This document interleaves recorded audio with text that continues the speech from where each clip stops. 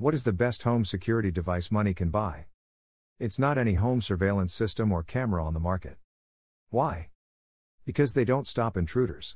They just inform you that someone is in your house.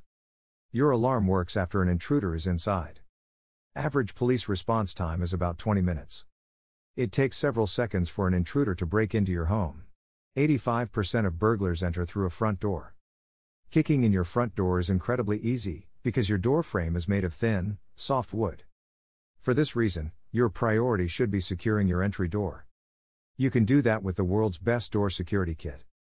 Door armor reinforces your existing door, turning them into an unbreakable barrier. Door armor has been tested and recommended by police.